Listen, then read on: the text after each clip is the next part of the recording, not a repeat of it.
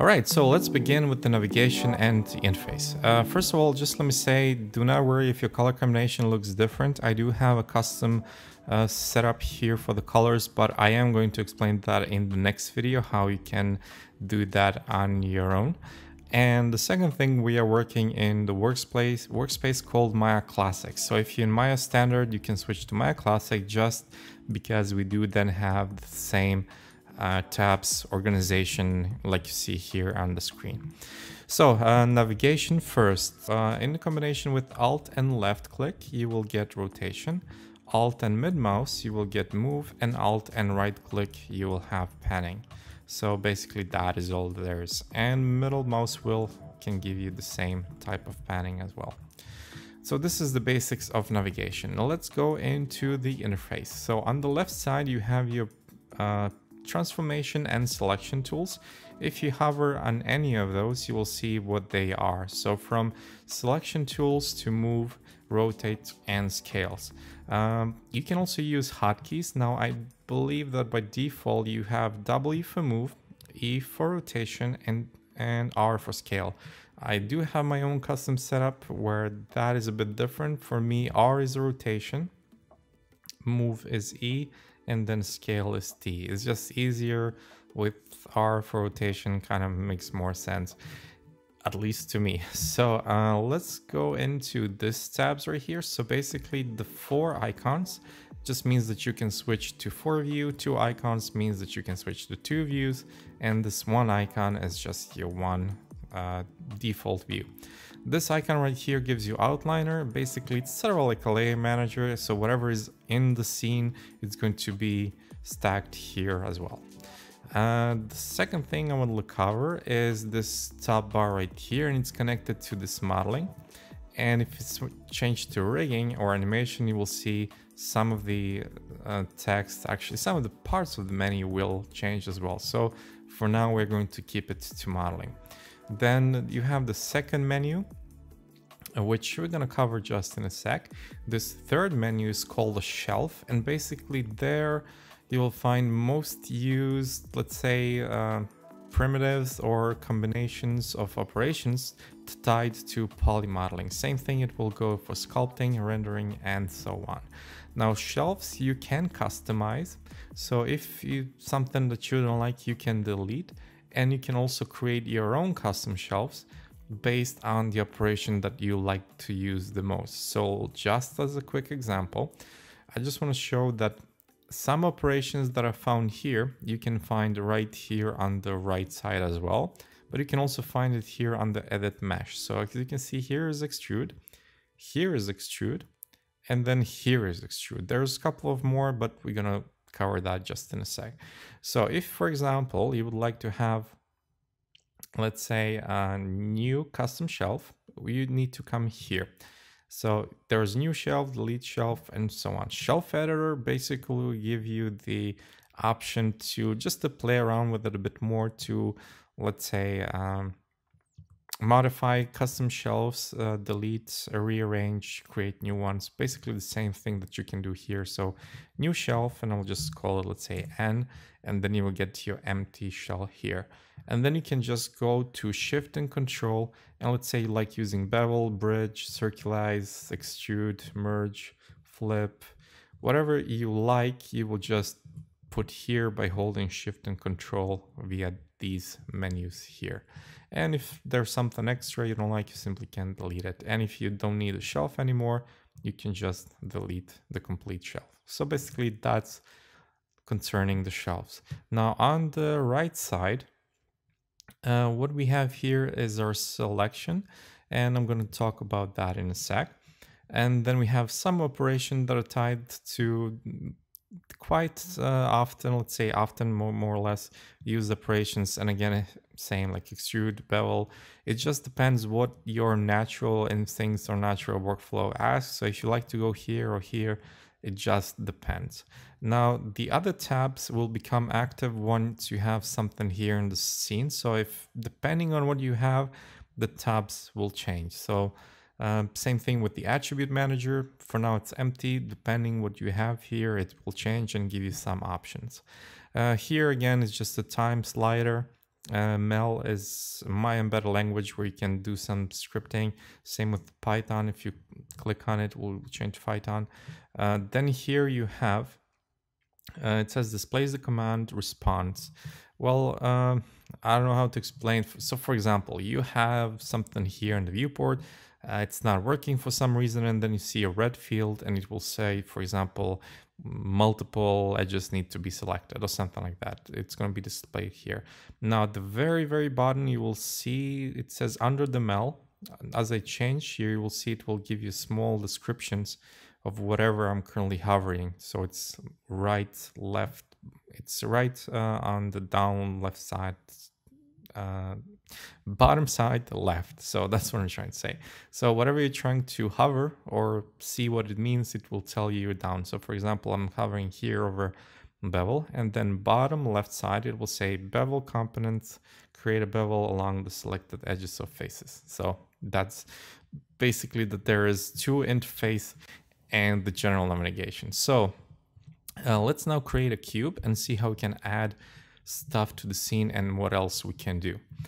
Uh, you can come here, create polygon cube. You can go to create polygon primitives and you can also do space create polygon primitives cube. So basically when you hit space, you will get exactly the same menu that you have here plus some additions. You have this Maya in the middle, which will give you perspective view, new camera, right view, bottom view. So basically whatever you have here, but if you hit space once, it will give you this same view as before. And whatever your mouse clicks or just hovers, you hit space bar again, and that's how you can quickly switch between the views. So I was talking about creating the cube. So this is one way, this is second, and this is third. And the fourth way is via marking menus. And to access marking menus, you will just right click or shift right click, depending on what we're doing. There's still more operations. For now, we're gonna focus on the two. So in this case, let's just shift right click and create a cube. So now we can just hit here for scale, rotate or move, and then adjust our cube. Uh, by any chance, maybe, just maybe you have this active. And if you click on the cube, you get this little pop-up, which will just mean you will need to create your cube like this. So if you do not want that, you can come here to create polygon primitives, interactive creation check off, or shift control interactive creation uncheck this box. And then you will just shift control and I'm sorry, I'm talking it wrong. It's shift and right click cube, and then it will scale it. So uh, this is one part of the marking menu. So control, actually right click, I don't know why I'm saying control. So it's right click and shift right click. So for now, we're gonna focus on these two. Uh, so uh, one more time, we use shift right click to create a cube we can adjust it. And if we now right click on the cube, we will get access to edges, vertices, faces, and multi. For now, I'm going to focus on these. Let's ignore UVs and let's ignore vertex face. It's basically the same thing as you would have here, selecting points, edges, or uh, faces and multi-component will just select anything that your mouse is closest to. So if it's closest to the point, it will select the point, edge, or face. Same thing, it will be on right click, face, vertex, edge, or multi. So this is now our marking menu and we should get very, very familiar with that because it is going to help us um, with a workflow and we're going to be much faster than just coming here each time and selecting specific operation. Uh, okay, so now depending on the mode where you're in. So if you're in vertex mode, also connect found here on right click and shift right click will give you now marking menu operation based on the mode you're in. So if I'm now in point mode, I will get point mode operations based on points. If I switch to Edge and shift right click, I will now be in the menus connected to the edge. So edit edge flow and bridge hole, everything that is connected and that we can do with edges.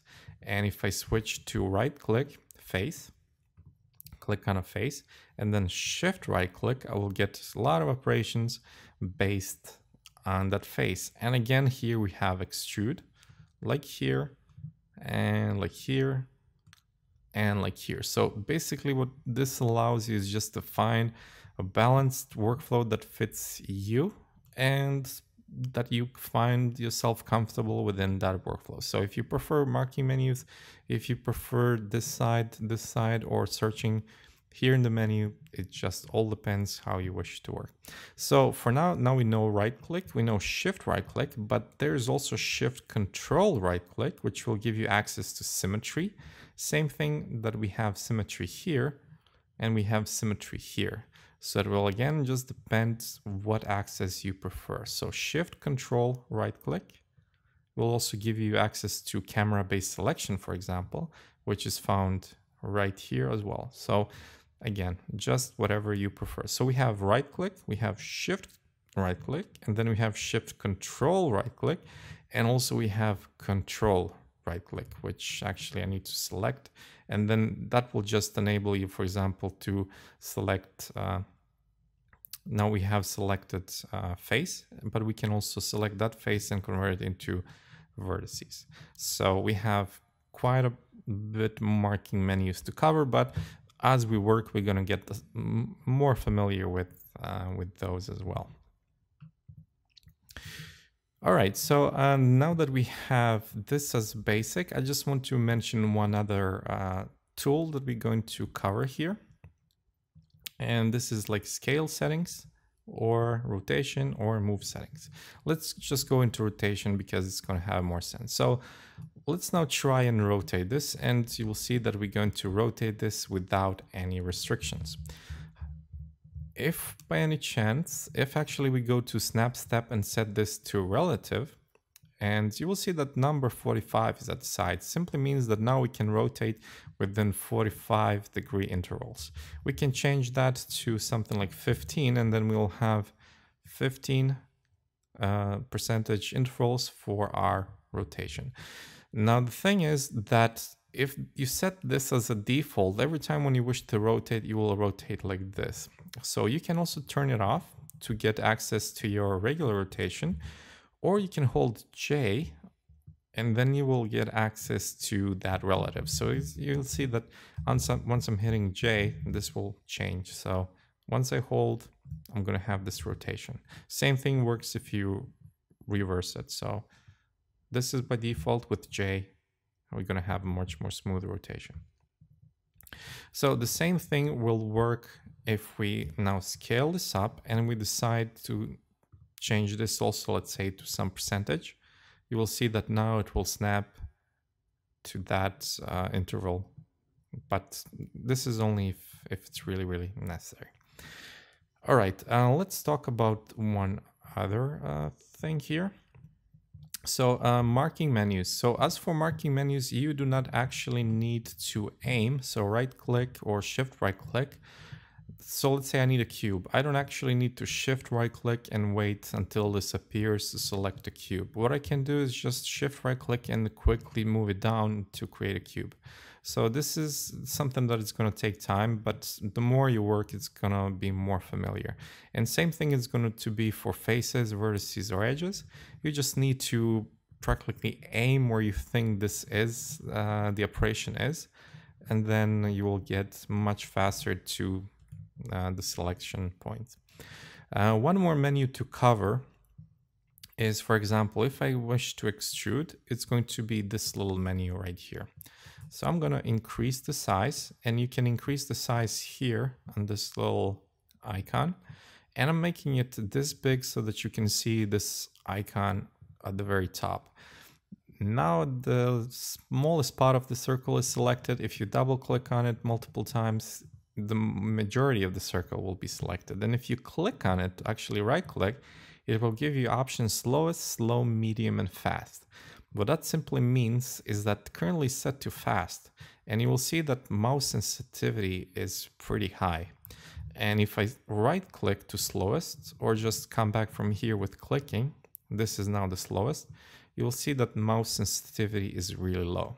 And if I go to medium, for example, which should be kind of golden middle, you can also hold control to make it even more smooth. So for now, you can see that this is on medium, but at the moment I hit control, it's going to give us a bit more control over uh, how much thickness we are adding. So if we need a bit more precise result. So again, just something to, to keep in mind. All right, so I'm gonna delete also this cube and uh, one piece that we still need to talk about. So there's one, one operation which is called history and it's called construction history on and off. So basically what this does, and in many situations you want to have it on. Uh, what basically does, it records everything that you're going to do in your viewport depending on an object. So for example, if I come here, you will see polycube. If I now come and select the face and decide to extrude this, and in Maya, there is operation G. So if you hit G on your keyboard, it will just repeat the last operation. So now I have twice the extrusion. If I go to history, you will see here, I have twice the extrusion. So what history does, it will basically record whatever you did on that object and give you opportunity to come back into attribute editor, what we talked before, and to adjust some of the settings. So you can adjust, let's say the divisions and let me try, it will not always work, but let me try here to adjust the divisions in our second. And let me also come here to the polycube and maybe adjust the size. So basically history will record every operation that you do and depending on how much of a history you have, because the more stuff you do, I will just add more and more the longer the list and the longer the list the viewport might become a bit laggy. And if you go to channel box you will see here this is your history. So basically you can also click here and edit those values. So uh, the longer this list becomes and this list as well uh, viewport will become laggy. And if you notice that for example it is becoming a bit let's say not as you used to you will need to delete the history. And to delete it, you will need to go to edit, delete all by type or by type. So delete by type will just delete the history on a currently selected object, while delete all by type will delete, delete the history with uh, from all the objects in the scene. So for now, I can just delete all history and you will see that this will now disappear.